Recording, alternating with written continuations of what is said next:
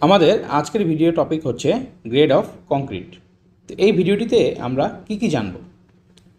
Concrete আসলে কি এবং কংক্রিটের গ্রেড আসলে কি? Types of concrete mix concrete mixing ratio বিভিন্ন রকম কংক্রিটের মিক্সিং রেশিও এবং তাদের কম্প্রেসিভ স্ট্রেংথ এবং কোন গ্রেডের কংক্রিট কোথায় ব্যবহৃত হয়? এবং সবার শেষে থাকছে কংক্রিটের ওয়াটার সিমেন্ট রেশিও আপনি কি জানেন নির্মাণ কাজে কংক্রিটের গুরুত্ব কতটুকু? একটি তথ্য জানলে হয়তো আপনি অবাকই হবেন যে একটি বিল্ডিংয়ের স্ট্রাকচারের একশো ভাগের মাত্র দুই ভাগ ব্যবহৃত হয় হচ্ছে রড এবং বাকি আটানব্বই ভাগই কংক্রিট। একটা জিনিস ভাবেন তো, মাত্র দুই ভাগ রডের জন্য আমরা কত বেশি গবেষণা করি যে কোন রডটা ভালো হবে। এবং অনেকের কাছে জিজ্ঞেসও করে থাকি। কিন্তু আটানব্বই ভাগ যে ম্যাটেরিয়াল ব্যবহার হবে, তার উপর কোনো গুরুত্বই আমরা দিই না। একটি স্ট্রাকচারের স্ট্রেংথ নির্ভর করে রড ও কংক্রিটের সঠিক বন্ডিংয়ের উপর। একটি বিল্ডিংয়ে শুধু রডের উপর দাঁড়িয়ে থাকে না। তাই আমাদেরকে রড ও কংক্রিট উভয়ের ব্যাপারে খুব বেশি সচেতনতা অবলম্বন করতে হবে। কংক্রিট হলো একটি যৌগিক মিশ্রণ, যেখানে সিমেন্ট বালু আর পাথরের সমষ্টি নিয়ে গঠিত হয়। কংক্রিটের মিক্স ডিজাইন হলো কাঙ্ক্ষিত শক্তি অর্জনের জন্য এই উপকরণগুলোর সঠিক পরিমাণ খুঁজে বের করার পদ্ধতি। সঠিক কংক্রিট মিশ্রণ নির্মাণকে আরও শক্তিশালী ও অর্থনৈতিক করে তোলে।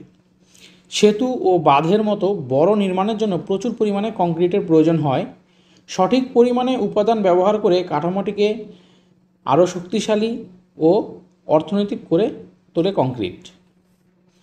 কংক্রিটের এক মিটার কিউবের জন্য প্রয়োজনীয় সিমেন্ট, বালু ও পাথরের সঠিক পরিমাণ নির্ণয় করার জন্য আপনার কংক্রিটের বিভিন্ন গ্রেড সম্পর্কে জানতে হবে। কংক্রিটের বিভিন্ন গ্রেড যেমন M five M seven point five M ten M fifteen ইত্যাদি। যেখানে এম এর মান হলো মিক্স এবং এম এর পেছনের সংখ্যা হলো নির্দিষ্ট ইউনিটের জন্য আঠাশ দিনের কংক্রিটের compressive strength.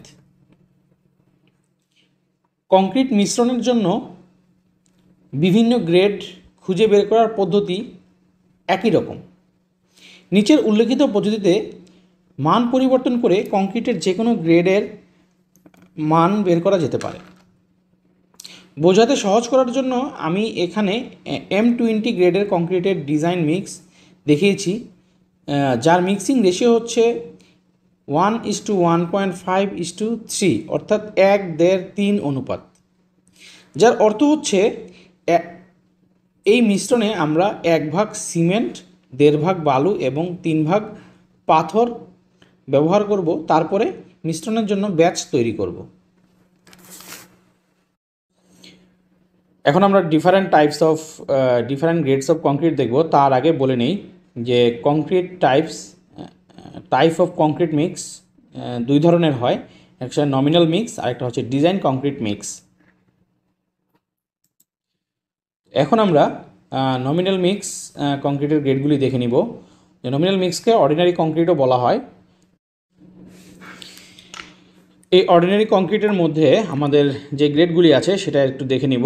M five M seven point five M ten M fifteen এবং এম টোয়েন্টি তো যথারীতি আমি এটার মিক্সিং রেশিওটা হচ্ছে এম ফাইভের জন্য one is two five is two ten M seven point ফাইভের জন্য one is two four is two eight M টেনের জন্য one is two three is two six M ফিফটিনের জন্য one is two two is two four এবং M টোয়েন্টির জন্য one is two one point five is two three এই M twenty গ্রেডের কংক্রিটটা আমরা সবচেয়ে বেশি ব্যবহার করে থাকি তো দেখুন, আমি আগেই বলেছি যে এম স্ট্যান্ড ফর গ্রেড এবং N stand for strength so M five হচ্ছে ফাইভ নিউটন এবং এম সেভেন পয়েন্ট ফাইভ হচ্ছে seven point five newton ten হচ্ছে এম টেন হচ্ছে টেন নিউটন এম ফিফটিন হচ্ছে ফিফটিন নিউটন এবং এম টোয়েন্টি হচ্ছে twenty newton এখন এই নিউটনকে যদি আমরা পিএসআইতে কনভার্ট করতে চাই তবে একশো পঁয়তাল্লিশ দিয়ে গুণন করলেই কিন্তু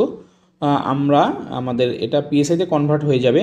সেক্ষেত্রে এম টোয়েন্টি গ্রেডের পিএসআই আসবে উনত্রিশশো পিএসআই তো যাই হোক, এখন আমরা জেনে নেব এই অর্ডিনারি কংক্রিটগুলি সাধারণত কোথায় ব্যবহৃত হয়। তো অর্ডিনারি কংক্রিট বেশিরভাগ ক্ষেত্রেই এম ফাইভ থেকে এম ফিফটিন পর্যন্ত আমরা প্লেন সিমেন্ট কংক্রিট বা লেভেলিং বা সিসি বা ফুটিংয়ের বেডিং তৈরি করার জন্য ব্যবহার করে থাকি এবং এম টোয়েন্টি গ্রেডের কংক্রিটটা আমরা সাধারণত আরসিসি কাজের জন্য ব্যবহার করি। যেমন ধরুন স্লাব বিম কলাম ফুটিং ইত্যাদি কাজে আমরা কিন্তু এম টোয়েন্টি গ্রেড অথবা এক, দেড়, তিন অনুপাত যেটাকে বলা হয়, সেই অনুপাতে কংক্রিটটা আমরা এইসব কাজে ব্যবহার করে থাকি। এরপরে আসব হচ্ছে ডিজাইন মিক্স কংক্রিট যেটা হচ্ছে স্ট্যান্ডার্ড কংক্রিট স্ট্যান্ডার্ড কংক্রিটের গ্রেডটা হচ্ছে এম টোয়েন্টি ফাইভ থেকে এম ফিফটি পর্যন্ত। এর মধ্যে দেখেন M twenty five M thirty M thirty five M forty M forty five এবং এম ফিফটি এগুলোর জন্য কিন্তু কোনো মিক্সিং রেশিও নেই। এগুলা রিকোয়ার্ড স্ট্রেংথের জন্য ডিজাইন করা হয়। বেশিরভাগ ক্ষেত্রেই সিমেন্ট স্যান্ড এবং অ্যাগ্রিগেটের সাথে অ্যাডমিক্সার মিক্স করে। এই ডিজাইড স্ট্রেংথের কংক্রিটটা প্রস্তুত করা হয়ে থাকে। সো আগেই বলে দিচ্ছি স্ট্যান্ডার্ড কংক্রিটের জন্য কিন্তু কোনো মিক্সিং রেশিও নেই, যেটা আমরা অর্ডিনারি কংক্রিটের জন্য দেখেছিলাম। সো এখানে এম টোয়েন্টি ফাইভের জন্য টোয়েন্টি ফাইভ নিউটন, এভাবে করে এম ফিফটি পর্যন্ত আছে স্ট্যান্ডার্ড কংক্রিটের গ্রেডে সো এখন আমরা পরের স্টেপে চলে যাব। তার আগে একটু বলে দিচ্ছি যে এই স্ট্যান্ডার্ড কংক্রিটগুলি কোন কোন কাজে ব্যবহৃত হয়? এই স্ট্যান্ডার্ড কংক্রিটটা রেনফোর্সমেন্ট সিমেন্ট কংক্রিট এটা সাধারণত আরসিসি কাজ যেমন foundation footing column beam slab ইত্যাদি কাজে ব্যবহৃত হয়। শুধুমাত্র এম এম ফোরটি গ্রেডটা ইউজ হয় প্রিস্টেস কংক্রিটের ক্ষেত্রে। যদি কোথাও আমাদের প্রিস্টেস কংক্রিট প্রয়োজন হয়, সেক্ষেত্রে স্লাব বিম কলাম ফুটিংয়ে এম ফোরটি গ্রেড ব্যবহৃত হয়। এবং যদি এম ফর্টি ফাইভ এবং এম ফিফটি গ্রেড ব্যবহৃত হয় হচ্ছে runway concrete road prestress concrete girder RCC column এবং প্রিস্টেস বিম যেগুলো সাধারণত ব্রিজ এবং কালভার্টে ব্যবহৃত হয় এবং M fifty five grade is only used for prestress concrete girder এবং ব্রিজের পিয়ার বা কলামে ব্রিজের গার্ডার এবং কলামের জন্য এম ফিফটি ফাইভ গ্রেডের কংক্রিটটা প্রিস্টেস কংক্রিট হিসেবে ব্যবহৃত হয়। তো এরপরে আসি হাই স্ট্রেংথ কংক্রিট এটাও কিন্তু ডিজাইন মিক্স কংক্রিট যেটা এম ফিফটি ফাইভ থেকে এম সেভেন্টি পর্যন্ত হয়ে থাকে। এটার জন্য কিন্তু কোনো মিক্সিং রেশিও নেই। এটা অ্যাজ পার রিকোয়ারমেন্ট অর্থাৎ আমাদের ডিজাইন স্ট্রেংথ কত দরকার সেটার উপরে কিন্তু এই কংক্রিটটার ডিজাইন করা হয়ে থাকে। সো এই ধরনের কংক্রিটটা আমরা কোথায় ব্যবহার করব? এটাকে হাই স্ট্রেংথ কংক্রিট বলা হয়। হাই কংক্রিট আমরা high rise building, long span bridge, যেসব ব্রিজের স্প্যান অনেক বড় বড় হয়ে থাকে এবং আলট্রা থিন যেই গার্ডার বা বিমগুলি একটু আলট্রা থিন বা স্লাবের থিকনেস আলট্রা থিন হয়ে থাকে, সেই ক্ষেত্রেও কিন্তু আমরা ব্যবহার করি অথবা ড্যাম্পের বাঁধ তৈরি করার জন্য কিন্তু আমরা স্পিলওয়েতে এই কংক্রিট ইউজ করতে পারি অথবা কোস্টাল কনস্ট্রাকশনের জন্য আমরা কিন্তু এই ধরনের কংক্রিটটা ব্যবহার করে থাকি। এখন আমরা চলে এসেছি এই ভিডিওটির সবচেয়ে গুরুত্বপূর্ণ পয়েন্টে। সেটা হচ্ছে যে যদি আমরা এক মিটার কিউব কংক্রিট আমাদের নির্মাণ কাজের জন্য ব্যবহার করতে চাই বা তৈরি করতে চাই, তাহলে আমরা কীভাবে তৈরি করব? তো মিক্স ডিজাইন এটা হচ্ছে ভলিউম বেস ডিজাইন যেখানে মিক্সিং রেশিও পাশাপাশি ভলিউম বা ওয়েট বেসিসে ডিজাইন করা হয়ে থাকে। তো এক কিউবিক মিটার কংক্রিট তৈরি করার জন্য আমাদের কি কি ম্যাটেরিয়াল লাগবে বা কি পরিমাণ ম্যাটেরিয়াল লাগবে এবং এর ওজন কতটুকু হবে, সেই জিনিসগুলি আমি এখন আপনাদেরকে ক্লিয়ার করে দিব। এটা একটি, দেখতেই পাচ্ছেন, ছক আকারে প্রকাশ করা হয়েছে যে এক কিউবিক মিটার সিমেন্টের ওজন হচ্ছে চোদ্দোশো চল্লিশ কেজি, এক কিউবিক মিটার স্যান্ডের ওজন হচ্ছে ষোলোশো কেজি, এক কিউবিক মিটার এগ্রিগেটের ওজন হচ্ছে পনেরোশো ষাট কেজি এবং যেহেতু এখানে আমাদের কংক্রিটের এই তিনটা উপাদান মিক্স করার জন্য পানির প্রয়োজন হবে সো ওয়াটার এবং সিমেন্টের একটা রেশিও এখানে আমাদের ধরে নিতে হবে। তো সাধারণত আমরা পয়েন্ট থ্রি ফাইভ থেকে পয়েন্ট ফাইভ পার্সেন্ট অফ সিমেন্টের পরিমাণে আমরা পানি ব্যবহার করে থাকি। তো এখানে আমরা ধরে নিচ্ছি পানির রেশিও ওয়াটার এবং সিমেন্টের রেশিও থাকবে হচ্ছে পয়েন্ট ফাইভ এই অনুযায়ী যদি ক্যালকুলেশন করা হয়, আমি ক্যালকুলেশন করে এই ছকটা তৈরি করেছি এবং এটা আপনাদের সাথে শেয়ার করছি। এম ফাইভের জন্য এম ফাইভ গ্রেডের কংক্রিটের জন্য সিমেন্ট লাগবে হচ্ছে একশো একুশ কেজি স্যান্ড লাগবে সাতশো পঁচাশি কেজি এগ্রিগেট লাগবে পনেরোশো আঠাশ কেজি এবং পানি লাগবে হচ্ছে সত্তর দশমিক পাঁচ কেজি। তো বাকি সবগুলো বাদ দিয়ে আমি শুধু এম ফর্টি টোয়েন্টিটা বলে দিচ্ছি।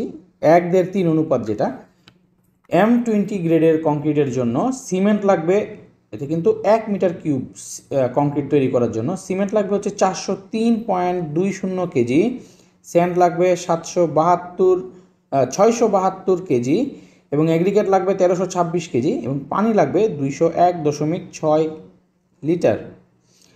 সো আপনি ইচ্ছা করলে এই চারটার একটা স্ক্রিনশট নিয়ে রাখতে পারেন। ভবিষ্যতে আপনি যে কোনো গ্রেডের কংক্রিট তৈরি করতে গেলে যদি আপনি এই পরিমাণে যদি এই উপাদানগুলি ব্যবহার করেন, তাহলে কিন্তু আপনার ডিজায়ার্ড স্ট্রেংথের কংক্রিট আপনি পেয়ে যাবেন। তো আশা করি এই ভিডিওটি আপনাদের খুব ভালো লেগেছে। যদি ভালো লাগে, তাহলে অবশ্যই একটি লাইক দিবেন এবং যদি কোনো প্রশ্ন থাকে কমেন্ট করে জানাবেন। আর যদি চ্যানেলটি এখনও সাবস্ক্রাইব করে না থাকেন, তাহলে অবশ্যই অবশ্যই চ্যানেলটি সাবস্ক্রাইব করে চ্যানেলের সদস্য হয়ে যাবেন। যাতে পরবর্তী ভিডিওগুলি আপনি খুব সহজেই দেখতে পান। ভালো থাকবেন। আল্লাহ হাফেজ।